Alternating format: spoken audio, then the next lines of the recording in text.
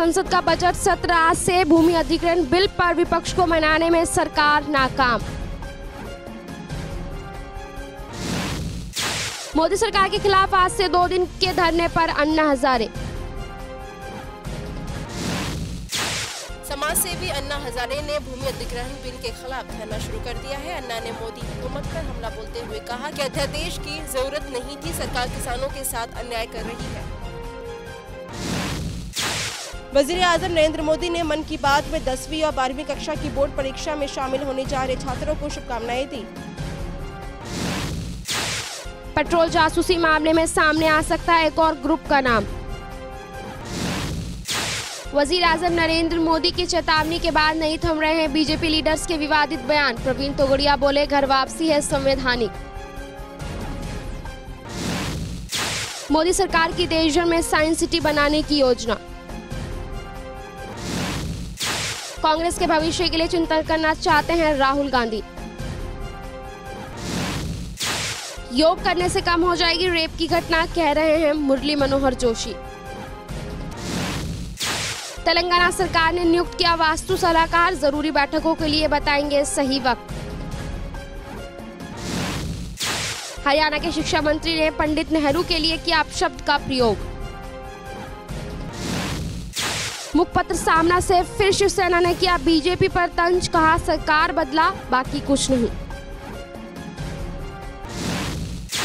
दिल्ली की चुनावी हार के बाद मध्य वर्ग का विश्वास फिर जीतने के लिए फाइनेंस मिनिस्टर अरुण जेटली 28 फरवरी को आम आदमी के अनुकूल बजट पेश कर सकते हैं, जिसमें या तो कर स्लैब बढ़ाए जा सकते हैं या बजट योजनाओं में निवेश पर छूट की सीमा बढ़ाई जा सकती है। सरकार देश के 12 प्रमुख बंदरगाहों के आसपास एक एक स्मार्ट शहर विकसित करने की एक महत्वाकांक्षी योजना पर काम कर रही है, जिन पर अनुमानित कुल पचास हज़ार करोड़ रुपए का निवेश किया जाएगा। सुप्रीम कोर्ट के वकील सुहास आज जोशी की शिकायत पर एक्शन लेते हुए अदालत ने सेक्स टॉयज बेचने वाली साइटों के खिलाफ जाँच के आदेश दे दिए हैं। योग गुरु बाबा रामदेव ने बजट सत्र के शुरू होने से पहले मोदी हुकूमत को वेदों के प्रचार की तरफ़ ध्यान देने की नसीहत दी। टेलीकॉम ऑपरेटरों ने स्पेक्ट्रम ऑक्शन के लिए बीस हज़ार चार सौ पैंतीस करोड़ रुपए का बयाना दिया है, जिसमें लगता है कि सरकार को एयरवेल्स की सेल से एक लाख करोड़ रुपए से ज़्यादा मिल सकते हैं। बरतानिया के बेघर लोगों को सिख बरादरी की जानब से उनकी सदियों से चले आ रहे रिवाज के तहत मुफ़्त खाना किया जा रहा है फ्राहम। हिंदुस्तान में सेहत आमा के हकाम स्वाइन फ्लू पर काबू पाने के लिए कोशिश कर रहे हैं, जिसमें मुब्तला होकर दस दिसंबर से अब तक मुल्क में सात सौ अफराद हलाक हो चुके हैं। हफ़्ते पहले कारोबारी दिन शुरुआती दौर में सेंसेक्स और निफ्टी में अच्छी देखने को मिल रही है। मिड कैप और स्मॉल कैप शेयरों में भी अच्छी खरीदारी का रुझान है। बीएसई के मिड कैप और स्मॉल कैप इंडेक्स में ज़ीरो दशमलव पाँच फ़ीसदी तक की मजबूती आई है।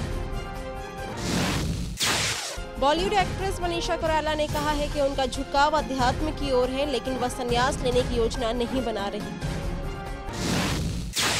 बॉलीवुड के किंग खान शाहरुख इन दिनों अपनी आगामी फ़िल्म फ़ैन की शूटिंग को लेकर खासा व्यस्त है। इस बार शाहरुख अपनी इस फ़िल्म से अपने नन्हे फैंस को खुश करना चाहते हैं। उनका कहना है कि उनकी यह फ़िल्म बच्चों को बेहद पसंद आएगी। एक्टर सलमान खान ने अनुष्का शर्मा के बॉयफ्रेंड विराट कोहली को चिकना छोरा कहकर पुकारा सलमान ने यह बातें दुबई में एक ज्वेलरी स्टोर के उद्घाटन के दौरान पत्रकारों से कही। भारतीय दिग्गज बल्लेबाज सचिन तेंदुलकर ने वर्ल्ड कप 2015 में दक्षिण अफ्रीका पर 130 रनों की जीत के बाद कहा कि मेलबर्न क्रिकेट मैदान पर भारतीय क्रिकेट टीम का प्रदर्शन लाजवाब रहा।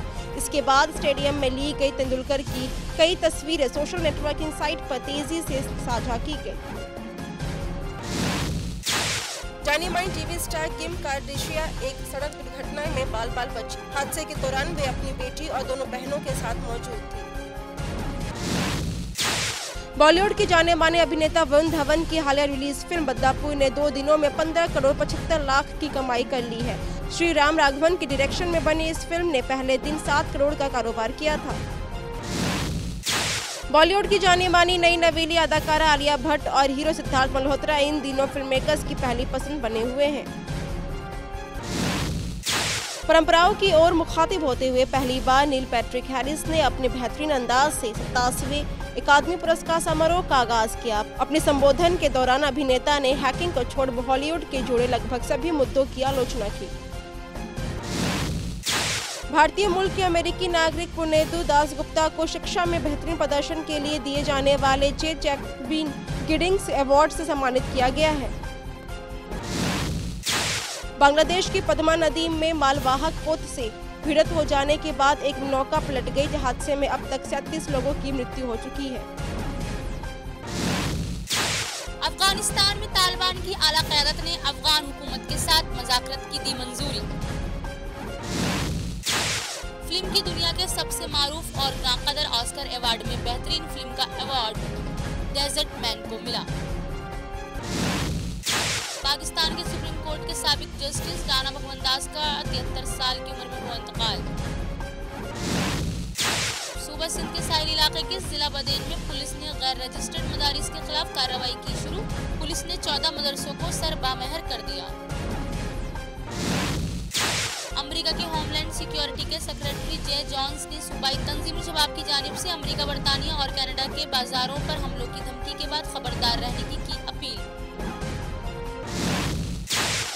तुर्की के हज़ारों फौजियों ने बख्तरबंद गाड़ियों के ज़रिए शाम में दाखिल होकर दौर उस्मानिया के तारीखी मजार को खाली करवा लिया। क्रिस्टीन स्टूअर्ट पहली ऐसी अमेरिका अदाकारा बनी जिन्होंने फ्रांस का बावकार सीजर अवार्ड जीता। पाकिस्तान के सूबे बलूचिस्तान के जिला दक्की में कोयले की कान में हादसे के बाईस हलाक होने वाले सात कारकुनों की लाशों को तीन रोज बाद निकाला गया।